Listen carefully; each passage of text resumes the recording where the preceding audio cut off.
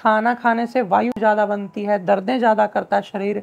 हो सकता है किसी को खाना खाने से कच्चा रस आगे चला जाता है नसों में, जिससे कि गठिया की शुरुआत जिसको कहते हैं, वो हो जाती है। एड़ियों में दर्द।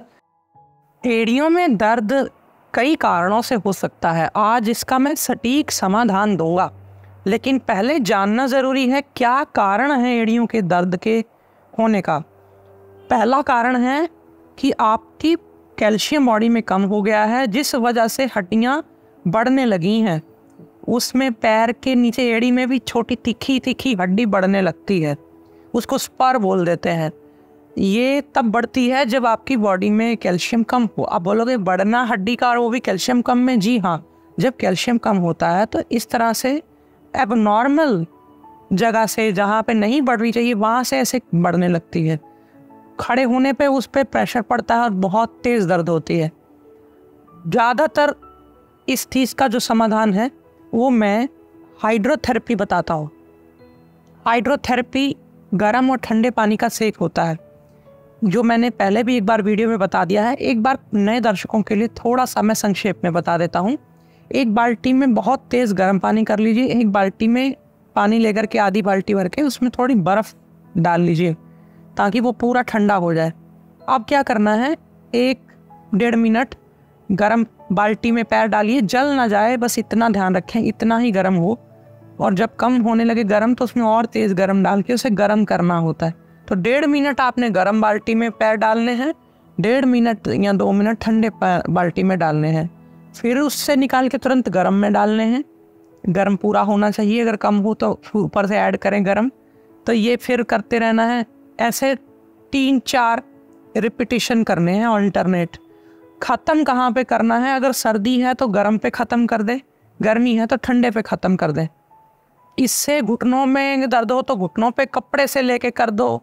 एड़ी की हड्डी बढ़ गई है, एड़ी पे कर दो। टांगों पिंडलियों में दर्द है, उसमें भी आराम देता है। पीठ में दर्द है तो पीठ में भी करवा सकते हो। बाथ टब में बैठ के या यूँ ही किसी वॉशरूम में जाके आप कर सकते हो। ये बहुत ही कारगर है और निरापद है। इसके बाद आता है, एड़ी का दर्द होना, यूरिक एसिड बढ़ने से।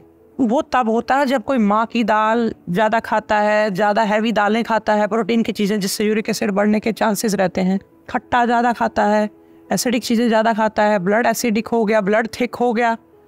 ज़्यादा जो है, लोग खड़े रहते हैं, उनका भी एड़ियों में दर्द शुरू हो जाता है, जो बिल्कुल नहीं चलते, उनका भी कई बार हो जाता है। शर्त यही है कि आप पहले डायग्नोस करें, फिर सही इलाज मिलेगा आपको। तो यदि यूरिक एसिड कारण है उसके पीछे तो रात को हैवी चीज़ें खानी बंद कर दें और दिन में जो आप लेते हैं, वो छिलके वाली दालें लें हल्की मूंग की अरहर की, ज़्यादा से ज़्यादा मन करे तो मसूर आदि कभी कभार और, या फिर सांभर आदि बना करके, बस। इससे ज़्यादा भारी दालें चने का, काले चने का सेवन कभी कभार कर सकते हैं। हल्का कर दे अपने शरीर को, पनीर बंद कर दे।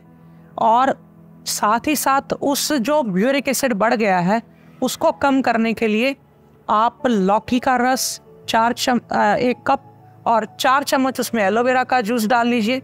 और मिल जाए तो थोड़ा बहुत खीरे का जूस उसमें आधा कप डाल लीजिए, अगर कद्दूकस करके निकाल सके तो। इसमें थोड़ा सा आप चाहें तो अदरक का रस डाल सकते हैं एक चम्मच।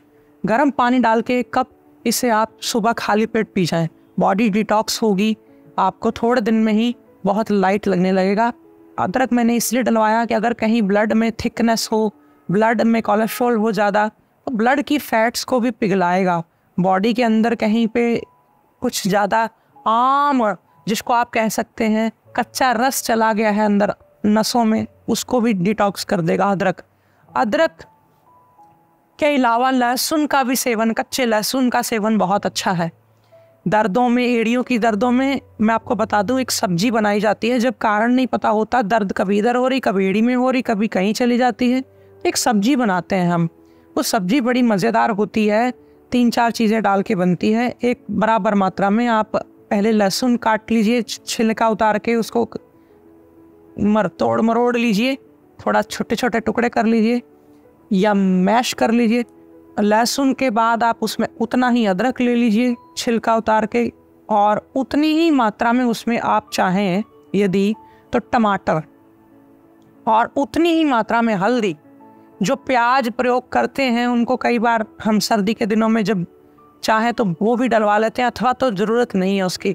तो ये तीन चार चीज़ें जो हम ले ली हमने, अदरक, हल्दी, कच्ची और लहसुन, मुख्य तीन, और मन करे तो टमाटर स्वाद के लिए। ना भी करे तो ज़्यादा लंबे समय तक स्टोर करके रखनी तो बिना टमाटर के। इसको हम सब सारी पेस्ट को बारी बारी से पहले उसमें थोड़ा लहसुन भुना जाता है, फिर उसमें थोड़ा अदरक, फिर अंत में उसमें हल्दी। ये तीनों को भून करके तिल के तेल में रख लिया जाता है, नमक डाल के हल्का सा। नमक जीरे का थोड़ा सा प्रयोग किया जा सकता है। आप चाहें जब मर्ज़ी इसको। खाना खाने लगे हैं, एक दो चम्मच साथ में ले लें दिन में एक बार। जिसको खाना खाने से वायु ज़्यादा बनती है, दर्दें ज़्यादा करता है शरीर, हो सकता है किसी को खाना खाने से कच्चा रस आगे चला जाता है नसों में, जिससे कि गठिया की शुरुआत जिसको कहते हैं, वो हो जाती है। एड़ियों में दर्द, ये सब बंद कर देगा। थोड़े ही दिन में।